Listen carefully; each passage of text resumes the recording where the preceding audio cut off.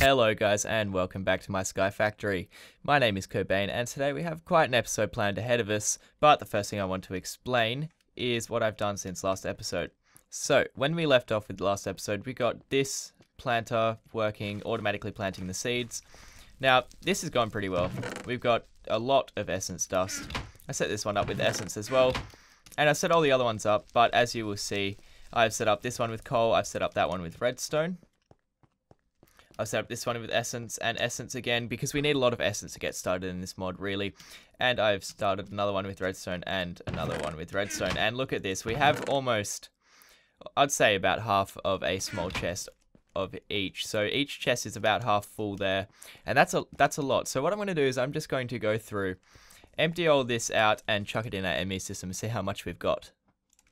Okay guys, I've actually run out of storage already. Um, just after emptying those two chests and this one just here, but it's not even empty, it's only half empty. I think we need to we need to fix this. I think what we need to do is we need to build a wireless access terminal for our ME system so that we don't have to run back over here every single time our inventory fills up or we need to find something. So what we need to do is what do we need? We need a router which isn't too hard really. Fluix Pearl, I think we could make one of those straight off the bat. Looks like we can't. Okay. What are we missing there? What are we missing? Nether quartz dust. Okay, so we have the nether quartz.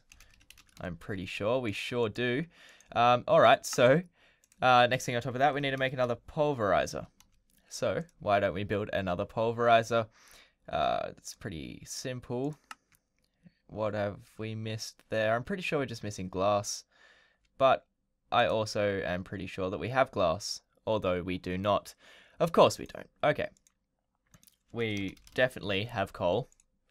And we're going to put some coal in here along with some sand. Wait for the glass to cook up and then we'll make a pulverizer. Okay, we actually have enough glass now to make it. So what we're going to do is we're just going to pop the glass in there manually. I know, manual, manual, manual. What is that? Alright, we should be able to... I think we already have the pistons, but I'm just going to make one more anyway. And we should have one of those, but just in the case that we don't, I'm pretty sure we can afford it, to be honest with you. There we are, we have another pulverizer. Let's go just chuck this one down onto our power network, somewhere down here. I'll make a dedicated space for the machines a bit later, but for now we're just going to chuck it there it's going to start powering up and we can chuck some nether quartz in there. I'll only chuck 32 in there because we don't want to run out of normal nether quartz because we need that just as much. Okay, so now we've got that cooking up. I guess we'll just have to sit and wait for it to go and then we can make our Fluix dust. Another thing I want to do actually is I want to get rid of these and I want to make a powered furnace or a redstone furnace. Basically it just runs off power and it's a lot faster. So if we go redstone furnace, it should come up or if we just type redstone in, more to the point, uh, we should be able to click that in, get some glass out of here, and make our machine block or machine frame. I can't remember quite what it's called, machine frame. Okay, make another reception coil. We should have some bricks, however, I am not quite... Why is it doing that? I'm not quite sure if we do.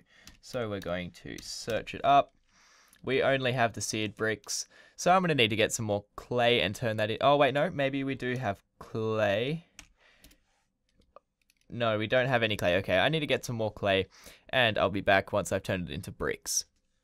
Okay, guys, so we've just got our bricks here, so all we need to do to turn those into actual bricks, uh, chuck it in our crafting station thing.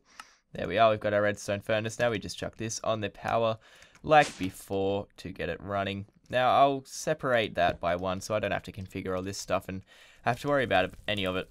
Now what we can do is, thank God, we can rip all of these down. Never liked them. Never ever liked them. They're slow, they're horrible, they don't work properly, they use coal. It's bad for the environment, people. Bad for the environment. It's um it's a detriment to everything. So what we're going to I nearly fell off the side then. That was that was very close. That was very close. What we're going to do now is we're going to chuck our sand in there and you can see how much faster that is. That's just it's just ah uh, I've been playing Feed the Beast and uh, going back from the redstone furnace in Feed the Beast to a normal furnace in Sky Factory It was really getting to me. So that's why I decided to build that. Now we need to get back onto our wireless access terminal. So what we need to do is we need to go downstairs and grab our nether quartz dust that we chucked in here before. Make our fluix dust and then we should be underway. So we need to build that, which is a fluix pearl, which is fluix dust. We'll just make quite a lot of that. We may as well. Righto, so we should be able to make the fluix pearl now, which means we'll be able to make this definitely. And we should have the ME cable to make that. Okay, now we need to make the ME wireless access terminal. This is a bit bit more um, difficult. Actually, no, it's not. This isn't difficult at all. Um, it just looks difficult. We need this conversion matrix, which is a basic processor assembly, which, as we know already, is fairly easy to make. Now, we, all we need to do, oh, we need to smelt this up. So I'm just going to chuck this in our redstone furnace. It will take absolutely no time at all because it's a redstone furnace and not a vanilla Minecraft furnace. Would you look at that? It's already done. Rightio, so we should just be able to come back up here, put that in our system, get back into here to what we needed to make. We should be able to make that. And now what we need to do is make another travel anchor. Um, why isn't that working? That should be working there. Oh, uh, I need to make the Fluix Pearl again. Of course. Now we should be right to make this one. And right to make the access terminal. But I'm missing something once again. Of course. Rightio. So there we are. Now we should for sure be able to make this. Okay.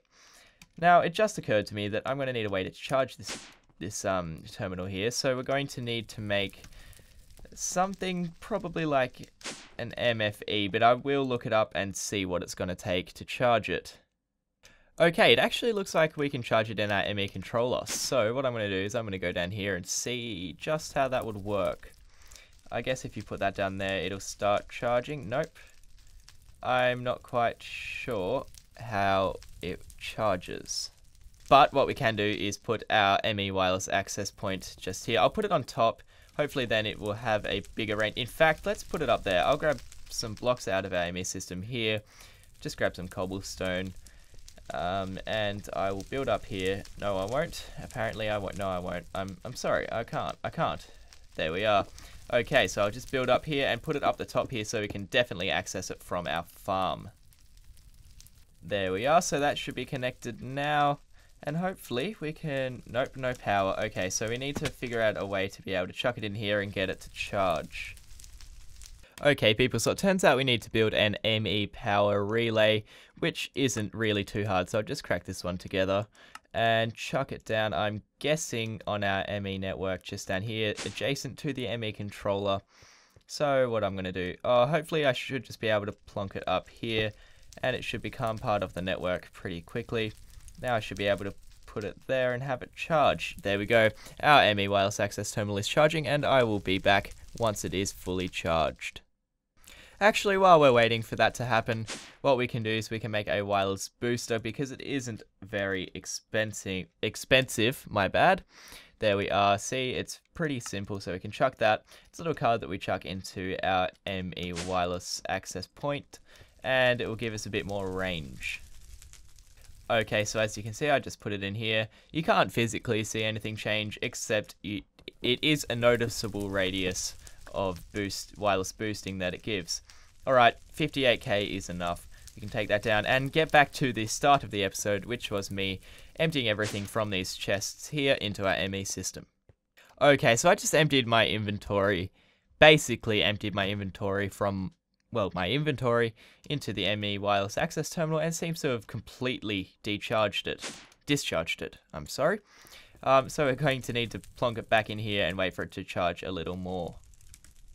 This ME power relay really does put quite a bit of stress on our ME controller here because as you can see, uh, the power level is right in the red and it doesn't seem too healthy. Hopefully we don't lose our ME system while it's charging this because if it runs out of power the ME system shuts down. Nothing gets imported from our chest over here from our item creation item creation chest. That was that was a real mouthful that one. By the way this is working brilliantly. I added import buses on the side here so the yellow is out outporting outputting into this import bus here, which is putting it straight in that ME system. And we have quite a lot of dust from that, especially dust. I haven't noticed any sand. Oh, 2,000 sand. Let's see our dust. 1,800 dust. We're, get, we're getting there. Um, soon we're going to need to start getting into some really complicated stuff because we clearly have the resources to do that now. Something else we can do while we are waiting is replace our better barrel with a deep storage unit. So the deep storage unit is basically a Mine Factory reloaded machine. It's really easy to make. Just make some plastic sheets up. Doesn't look like we have enough. But if we put that in there, we have enough. We just make need to make the eyes of enders. So that is blaze powder. And I think that think that's enough. There we are. So we have a deep storage unit. It's basically a better barrel, except it stores a lot more than 64 by 64. I'm pretty sure it stores up into the billions. Uh, so we will never, ever run out of cobblestone in our life. So if I just grab a axe, an axe, axe, use our thaumium axe, if we just break this one like so, it is going to cause quite a bit of lag. However, if we put cobblestone in there. It should start accepting cobblestone. There we go. And already we have nearly a thousand cobblestone in here and it is going to go up once the automatic cobblestone generator starts feeding into here. Okay, there we are. So now we've got our deep storage unit down there. We have 3,677 cobblestone, which is quite a lot. Now, what we want to do really is we want to connect it up to our ME network so we can access it through our ME terminals. Now, to do this, we need what is called a bus, as far as I know, a storage bus. Not an import bus, a ME storage bus here. I might have made these one of these last episode, but I'll just make sure I haven't before I build more. Okay, so we haven't. We've built a bunch of other things. Uh, I used that as a block before because I got pretty desperate and I cheated that one in. That was my bad. Okay, what I'm going to do is build this one up, which is pretty simple. We're going to need, need to make another basic processor. Let's make a couple of those because we're going to need them in the future. Jump down here, chuck them in our redstone furnace. Wait very little time for it to be done and then get back upstairs. Okay, we are back up here making our ME storage bus. We have the cables, we have plenty of cables actually. Where are we? I've lost it again. Okay, so we should be able to make this one pretty well straight away. So just see if we can... Nope, I haven't made the interface quite yet. Okay, so I've got the interface now. Should be able to make it straight up but it doesn't seem to interface. Where did the interface go? We seem to have lost the interface. It's okay, we can always just make another one, I guess. I'd rather not, but we can always just make another one and make our storage bus. Now we can just, if we can get up, we can just put this one on the, whoa, where can we put it? I guess we can put it on the top and just hook it. Oh, we should be able to put it there and hook it up straight into our ME system there we are, and you can see we've got 5,782. Oh, there we are. Okay, so it's going up. You can clearly see that it is interfacing with this, and you can also see it in there. So basically, what is really cool about Applied Energistics is you can connect anything to any part of the network, and it all goes back to the controller, which is really handy. So it means we don't have to manually pipe everything back to the controller or to another pipe. You can just chuck it on in a terminal or you can chuck it on a drive or a relay. It doesn't really matter. And every block also acts as a cable in itself, um, along with every import bus and export bus also acting as a cable in itself. Okay, looks like our ME wireless access terminal has been charged, so let's give this one a crack and see how much power it takes just to do that. It's taken 1k power um, just to move what is it, four items in there. So we need to be pretty careful with that one and maybe only use it for emergencies. But what I want to finish doing now is putting everything from the farm into our ME system. And I will be back once that is done. Alright, so we got all of that put in there. Now if we type in essence, you can see we have 4,147 essence dust, 10 weak essence, 22 nature essence, 2,806 redstone essence, 985 coal essence, and 118 essence seeds. Now that is pretty impressive. You can't really complain with that at all. Um, so I think in between episodes, I'm going to set up this farm here to be making other things other than redstone and coal. I'll probably set up one making diamonds, not that we need them, but just for the sake of it. Now, basically, you just work your way up the tiers. I don't want to get too into it on camera making it because it's really tedious and time consuming. So if you want to find out more about it, maybe request a tutorial from me purely on Mine Factory Reloaded. I mean, not Mine Factory, oh, I guess Mine Factory Reloaded along with Magical Crops. Um, or you can just look up other tutorials on the internet. Next thing I wanted to do is put this in our in our ME system. You can see we've got two diamond chests filled up with mob drops. Um, and a lot of that being spoils bags. So what I want to do is I want to automatically import that into our ME system and automatically export all the spoils bags into an autonomous activator and which, sorry, into an autonomous activator, which will open the spoils bags and put them into a chest for us, which will then be imported again into our ME system. To do this, we're going to need quite a bit of ME cable and our ME, uh, where are we, basic import bus along with a precision export bus. I'm just going to grab all of them and hope for the best. Now what we want to do is we want to connect this here, we want to connect it like so by shift clicking on the chest. We want to pipe it up underneath here. So what I'm going to do, I'm not going to pipe it up underneath. That's going to be way too hard for the moment. So I'm going to get that slab that I lost. No, I'm not. I'm not going to get that slab back at all. Okay, hopefully we can access we can access our ME terminal all the way over here, which is very, very handy. This is the kind of stuff that it should be used for. Now we're going to pipe this over to the closest ME cable, which by the looks of it is probably just down here. So I'll sort that out and I'll cut back to when I'm done. There we are, I just hooked it up. That was, yeah, that was, that was horrible. I don't want to do that again. Um, I'll clean that up before next episode so that we can still use that other platform because I will just, where are we? I will just go back up on our elevator here and show you what it looks like. Now it's pretty, pretty um, unusable, but as you can see, it is slowly being imported into our ME system and we can speed this up by putting some more import buses on it and connecting them up with ME cable. Um, and there we go. This should be a lot faster now and should be able to keep up with all of the items that are in there because there are a lot of items in there at present. Now I'm not going to be able to put one on the bottom because I cannot shift click on the bottom of the chest. Right, so now this is importing all of that. It should be importing our spoils bag, which is handy.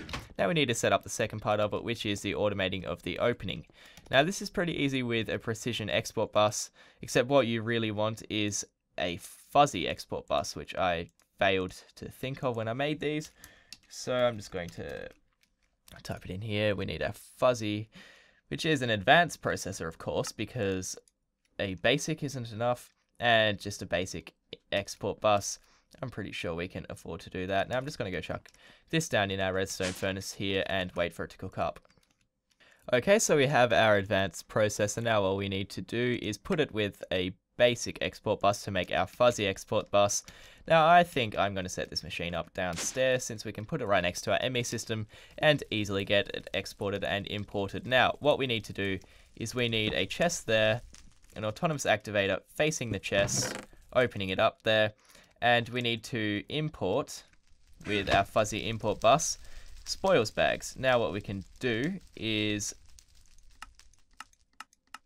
match any which will import all of the spoils bags in here, which will empty them into the chest, but it doesn't seem to be working. There we are. Okay, sorry, I set up the imports wrong. There we go, the spoils bags are being imported into there, and they've filled up already. So what we need to do, set up an import bus on the other side of the chest, or rather just here. Get some ME cable out of our system. Not gravel ME cable, thank you very much. Not close inventory. ME cable, thank you very much. Hopefully we've got some of that left. 43 of it, that should be enough.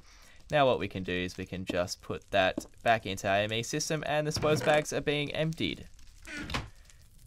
Okay, and I'll put another import bus on there so that it can keep up, but I don't really think it's necessary. Now, as you can see, it is definitely exporting very, very fast, and we're getting a lot of stuff from it. Now, I filled up another drive with 16k storage, but I don't think it's going to last too long, to be honest, so we may, but we probably won't have to add some more drives.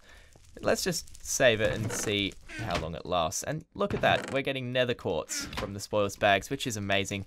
Nether quartz is something that we do need quite a lot with, uh, quite a lot with our ME system, and I am a heavy applied, applied energistics user. Okay, so now we've emptied that out, we've fixed all that. Now I'm going to explain a little bit more of what I did last episode. I replaced our lava generators with magmatic dynamos. I like magmatic dynamos a lot more. I think they produce quite a lot more power as well. I was having a bit of struggle with all those um, lava generators before um, powering this and the ME system, and it was either one or the other, and it just didn't work at all.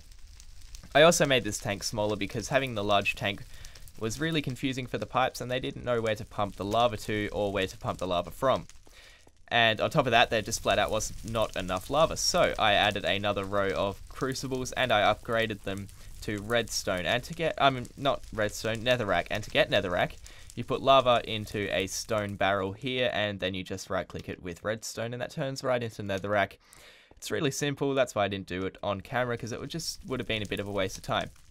I also changed our cobblestone import to the crucibles, I changed that to item ducts because they're a lot faster and smarter than the transfer nodes. And the export is fluid ducts now, just because they're a lot faster and smarter than the transfer nodes.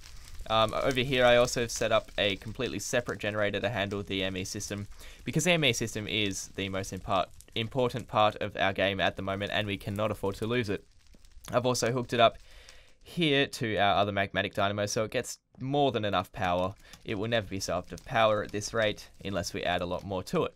Okay, and over here we're just running the same kind of system. And nothing too much more has changed to my knowledge. One more thing I wanted to do though is move this over here. I want to move this into the middle and put our smeltery on this side. Now this is a bit of a big task, so I'm just going to do it and cut to when it's done. Okay, so I've moved everything. I haven't built the smelter yet, but I just wanted to connect the deep storage unit back up to our ME system and should be interfacing now without a problem. There we are. It's working again. Not a problem. Okay, so I've set up the smeltery now. I've set it up a lot smaller than we had it before because we simply do not need it that big. I didn't know anything about the mod before, but now I've kind of got my head around it. And this is pretty much all we're going to need to get it to work. Now, that's all I'm going to touch on Tinker's Construct for this episode, but we're going to be getting into it pretty soon. We're going to make some pretty cool swords, some pretty cool um, axes and stuff like that. Pickaxes, I mean. But another thing I wanted to just mention before we go today is the fact that I have added some upgrades to our transfer node so it can mine the cobblestone a little bit faster send it over to our DSU to keep up with the very popular demand of cobblestone, which is very rare in my experience. So basically a speed upgrade is just some redstone and some gold, and a mining upgrade is an iron pickaxe, some iron, and some lapis. It's very, very, very easy and very, very, very helpful. Okay guys, unfortunately that is all we have time for in today's episode. Next episode I will be working on automating all of our broken, crushed, and dust into ores, or at least ingots. Sorry, ingots or at least ores. I'm not quite sure how I'm going to go about automating that quite yet, but hopefully it can be done. I'll do my research in between episodes. And what else? I, uh, what I will also be doing between episodes. Sorry, my, my voice. Not my voice, my vocabulary is just shocking today. Is one, setting up import buses on all of these chests here so they automatically go into our ME system. And two, changing all of our coal essence and redstone essence into other items. So we might end up growing iron, we'll probably end up growing some diamonds, and we'll also probably end up growing some glowstone. Okay, so until next episode, I am Kobain, this is my Sky Factory, and thank you very much for watching.